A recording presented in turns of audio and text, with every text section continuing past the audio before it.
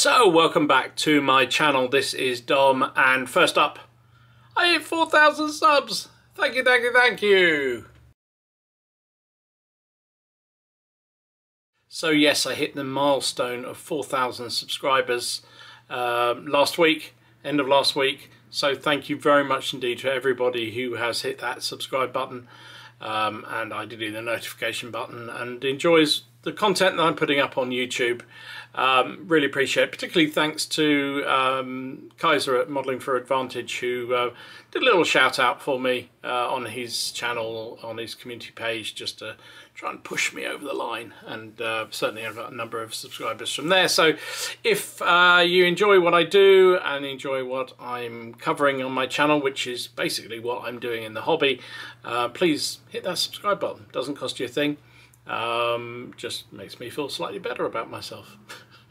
anyway, I really appreciate it. Fabulous. Um, I know everyone says the same thing, and I'll do the same. Is that um, I do this channel because I enjoy it, and um, it's never really expect the number of people to follow um, and enjoy what I do because it's just me doing my hobby. Um, and clearly there's a lot of us out there because we all follow each other and we all enjoy each other's journeys. So, what I've been up to. Let's take a look at some of the painting this week. So I've been continuing along with the Indian Mutiny figures, um, almost at an end, um, I think. I've got a few that I bought on eBay, but I'm not buying any more for the time being. Uh, these are some uh, more tribesmen to go along with the mutineers. Um, they are predominantly Foundry, War Games Foundry. I bought over Christmas during their sale, um, and I think a few Mutineer miniatures um, that I've added to. Um, they're the slightly bigger ones. You can see some are slightly taller than others. The War Games Foundry ones are lovely figures, but they are slightly on the small side compared to other ranges these days. Um, I think that's largely because they're quite old. Um, but um, so easy to do, great fun to paint up. Um, and uh, yeah, not much more to say about that. There's just a load of musketeers to go with the mutineers. So once again, um, some more mutineers. Now these are predominantly um, uh, War Games Foundry. Um, nice sculpts again. Really enjoyed doing these. They're just so much fun to do. Slightly different from anything else you do, and with the folds of the um, uh, of the clothes they're wearing uh, and the headdress they're wearing, it, it, just it's it's just crying out for even an average average-ish painter to do, um, and I just really enjoyed doing them. So that's that lot done. Um, so I think that's pretty much all the tribes guys I've got. I want to do some more actual sepoys. Um, so wearing the, the the red jackets of the British troops that uh, swap sides and um, do more of those for this force because then they've got uh, a decent punch to any uh, army list I put together. But uh, there you go, another bunch finished. So I th- think I said in one of my earlier videos, or probably later videos of last year, um, that I'm embarking on um, doing some Gallic um, troops for to fight some of the Hail Caesar Gallic uh, Caesar's Gallic Wars um, supplement games. Um, so I bought a whole load of um, um, Celtic Warriors. Um, I'm also frantically rebasing a whole load of old ones that I had in my collection from years ago that were all reasonably okay still. Uh, but just I wanted to put them. They're on an individual basis. I want to put them on bigger um, you know, group bases like these. Uh, and I also had some um, plastic warlord uh, Britons um, that I picked up some time ago. I think again somebody was coming down the club clearing out some figures and uh, they were selling two boxes of them and I just thought they'll be useful at some point and here they are. Um, so there's still a few more to paint up but this is the first lot done. Um, there, you know, a lot said about War, um, Warlords uh, plastic uh, Celts. They're they're okay. I mean, they're, they're actually graphically, I think the, the the sculpting of them is really nice. They just are in some very odd poses, which makes them very difficult to mass them up. Um, in sort of what they sh- in the in the sort of size they should be. So what I've done is combine what would be two bases um, into, into one and then sort of just spaced out the figures on them so they're not too crammed in. Um, and I think that works quite well, so I'm quite pleased with the effect. Um, cheaty painting with the uh, skin tone on these fellas. They're particularly the uh, ones that are predominantly bare chested. I've just um, uh, sprayed them with a, um, uh, I think it's an army painter. It's called Barbarian Flesh, and I just sprayed it with that, which is quite a pinky flesh colour, and then just washed it with Agrax Earthshade. Um, and that's it. Um, and it just comes out with a really nice accentuates the models and the mus- muscles on the torsos and the arms and whatnot quite nicely. So um, and it's quick. So there you go. More and into the Gallic Wars. Not entirely sure where this thing came from, but it's um, obviously a 15 mil Second World War pillbox. Um, and I just saw it in the uh, pile of opportunity. And while I was uh, undercoating some stuff, I just thought I'll do this and just uh, uh paint it up. So there you go, a pillbox, 15 mil. What more do you want? So talking about 15 mil Second World War figures, um, and really a thing that I should pay more attention when I'm buying stuff. So these are 15 mil um, German Panzer ones. Now I wanted some Panzer, a couple of Panzer ones to use for my uh, early war um, O group formations, and um, I, I, impulse impulse bought these. I think they're Battlefront uh, Flames of War ones. Um, and I didn't really pay much attention to them because Panzer ones are Panzer ones, right? Um, and then these arrived, and I think they're Panzer One Js, which were actually late war um, recce tanks, um, had much bigger, um, wider than the Panzer ones from the early war. Um, so not really what I wanted, um, which is annoying. Um, so I'm not quite sure what to do with them because I don't think I'm going to need them.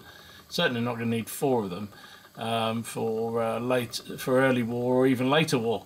Um, so yeah, I'm not sure what to do about them. They also were unlike unusually for um, Battlefront a bit of a bitch to put together, and you, you may be able to see the these sort of uh, I guess they're sort of mud guards or what have you, front and back, um, have to be stuck on individually, and they've got little sort of holes on the on the resin um, chassis um, and pins to go in on the mudguards, but they, they just don't seem to hold terribly well. Um, even with super glue, I find uh, metal onto resin is quite challenging, and when it's only got a very small contact area, made it very hard. And in fact, the front ones have a sort of a slight overlap, so they only have a pin one side, and then they have a slight overlap, which they're designed to sort of sit on top of the uh, the chassis there and I have to say they were fiddly as hell to get on. Um, a lot of swearing, a lot of super glue, and a lot of activator to, to get them to stick together.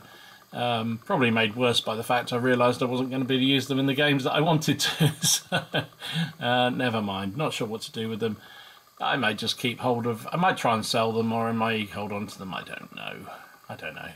I mean, I can. I'm not that precious, so I could just use them as Panzer ones early war Panzer ones, even though they're yeah they're not. But uh, ah, the one they're done. So I hope nobody thought that I'd given up on the Pike and Shop epic figures, uh, even if I can't say them. Um, no, I haven't. I just uh, have got attracted to doing some other stuff for the moment. Um, but I went back this week and did uh, another battalion of Pike and Shot. This time, uh, these are Dutch um, Protestant forces. I just needed a break from them, and uh, as you have seen, I've got masses to do. So um, you just have to keep refreshed, and that's what I've been doing lately. So um, these were done pretty much the same way as I always do them now. Um, base coat um, with a spray that is, uh, I think this was the Halfords uh, khaki, um, and then just um, picking out some various elements and then a good wash over the top. Uh, nice and simple and quick, and I think surprisingly effective, really. So, um, another battalion out the bag.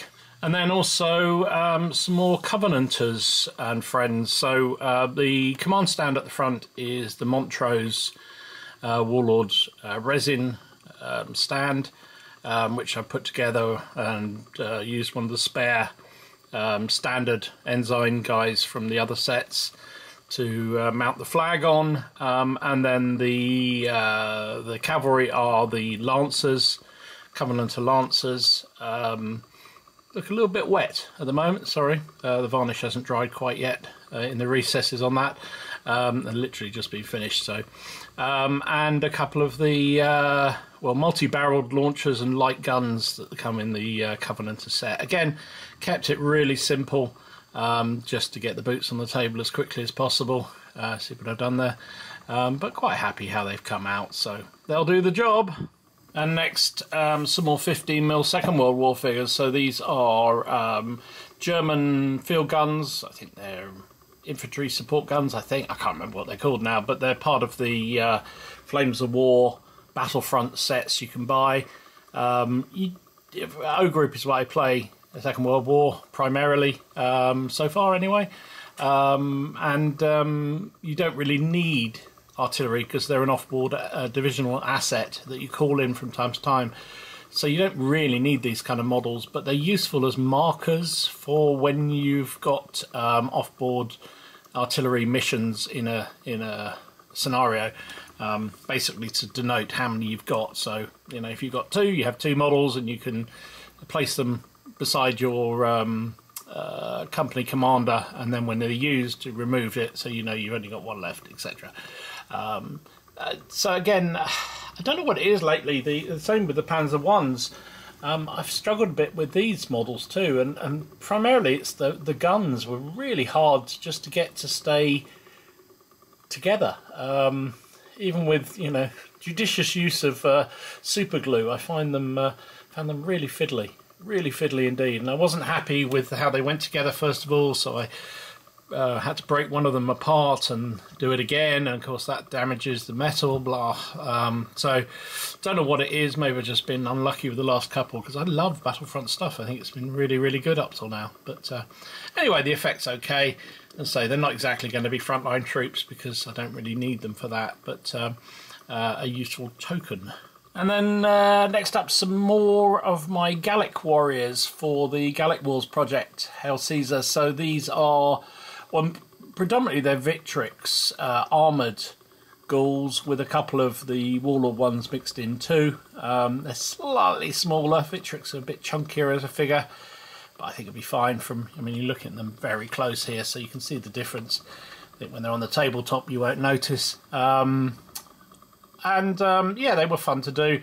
They're, um, I'm planning to do a couple of uh, regiments of these, or maybe they'll just become the front ranks of various uh, barbaric war bands. Um, but again, I've done them in the sort of doubled up uh, formation. So there's uh, this is eight by four bases. So sorry, yeah, eighty by whatever. Yeah, so um, eight by four bases, and I think that it kind of works. Actually, I think it works nicely. So that's them done. Um, and they've got, um, I think the little big man um, shield transfers on them because uh, I'm not going to be daft enough to try and uh, hand draw shields. No, no, sir. There you go. And then finally, for now, something a bit different from me. I don't really do diorama things, but uh, this is inspired by Tim's uh, Napoleonic uh, Wargamers event in June where um, he's getting on planning to go up with uh, one of my Napoleonic armies and fight out some black powder games. Um, it's not a competition; it's just a gathering of uh, like-minded, like-minded uh, gamers who want to have uh, well, it's going to be four games over the course of a weekend up at Boards and Swords. Um, and I'm looking forward to it. Very looking forward to it. So, um, as part of the um, sort of uh, objectives or games, I guess, um, scenarios. That's what I meant. You can have a number of, or there's four different. It's four uh, different um, sort of boosts you can give your army. Um, there's um, caissons or sort of extra ammunition, effectively allow your guns to fire just once in a game, twice. Um, the um, there's a forge that helps things move quicker.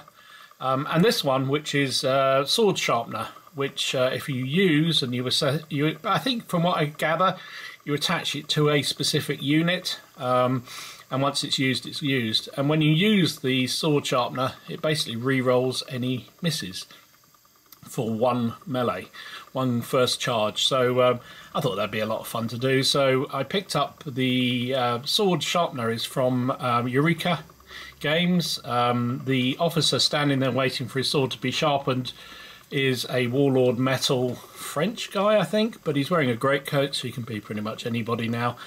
Um, and the goats, yeah, there's a couple of goats there, are from Piano Miniatures. Um, can't remember where the uh, tent came from. It was a 3D print, um, and I just thought it was a bit of fun to put it together on the base, so it looks like they're, you know, they've come out of their uh, uh, whatever they've been doing in the tent to sharpen this guy's sword up um, to go chopping um, chopping wood merrily. And I put it on a big uh, MDF base with uh, Vallejo mud and etc. I think it's quite effective. I'm quite pleased with how it came out. So um, for me as a non-modeler, um, I'm quite pleased with the, the effect. So there you go. That is it for now. So gaming wise, not been quite so busy, um, mainly because I, have been busy. Um, work, my boss was over last week. I had a couple of meetings with her, um, which meant um, I wasn't around as much. And um, as a result, I actually missed my Friday gaming session because uh, I was up in London um, and didn't get back in time and actually ended up going out for a few jars with some of my team, which was nice. Um, so no games last week. The week before we did a uh, another game of the American Civil War game. Was it hot, whatever it's called, Hot Lead and Cold Steel, whatever way around it is, um, and I, I, put it. I, I, did debate. I did record it. So we played played one of the scenarios from the book, uh, Perryville, I think it's called, a Kentucky game. Um, and uh, I, I, did think long and hard about whether I would actually put the, the game up on the on the channel because it was a bit of a bit of a unsatisfactory game, shall we say? Uh, it was for a start, it was far too big. Um, we played it in 15 mil. Um, we chose the game um, actually Jonathan chose the game because uh, we had uh, Tony and Paul playing for the first time, and we would have been far better keeping it smaller, um, especially at 15 mil on a 6x4 table. There's, there were so many figures, and it was really hard to keep track of where regiments started and finished. You needed some counters to show the quality of the troops um, any kind of differences they had with uh, equipment, that sort of thing, which made it all very confusing, very messy.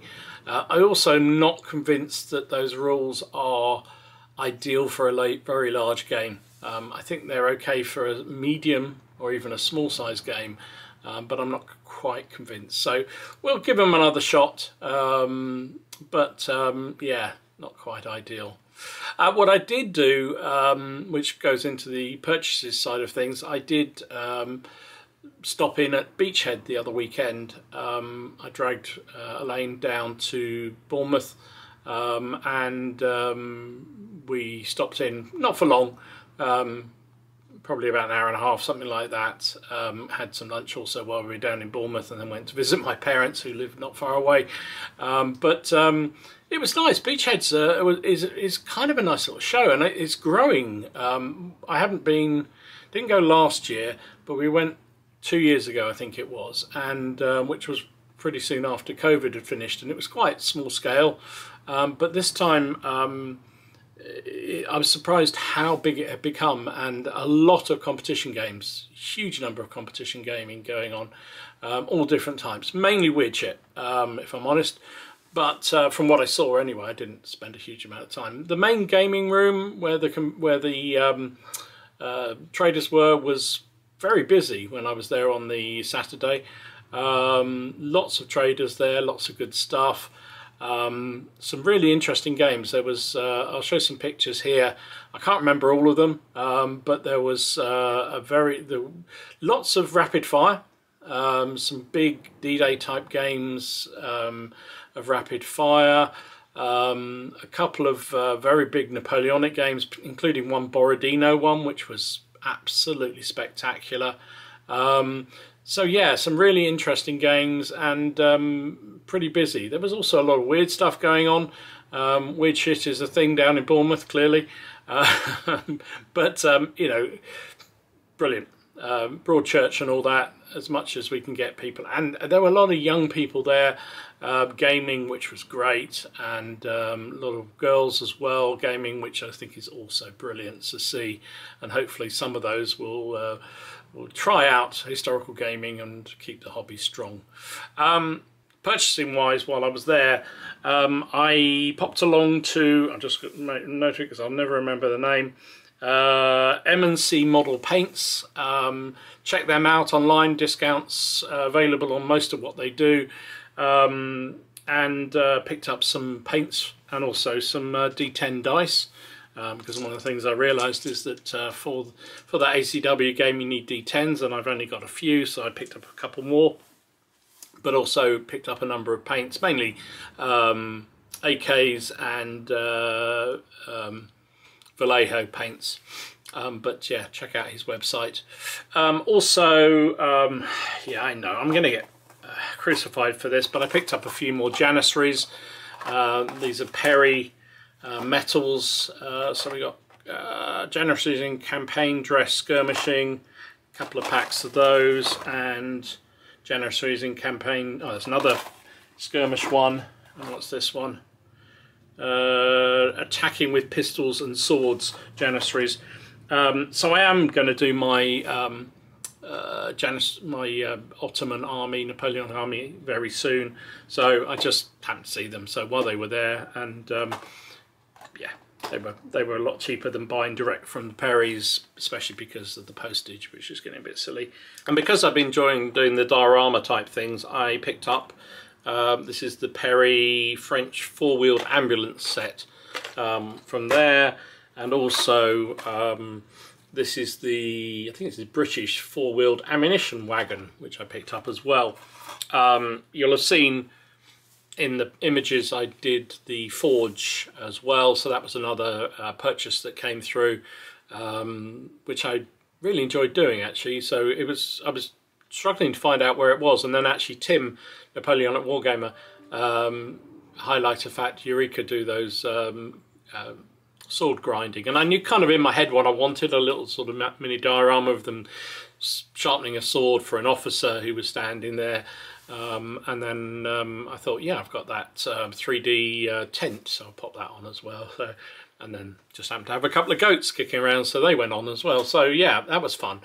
Um, so I might do a few more of those. Um, I've got a couple of caissons coming because um, uh, General d'Armée um, also seems to use caissons um, in the new version of General d'Armée, which should be coming out very soon.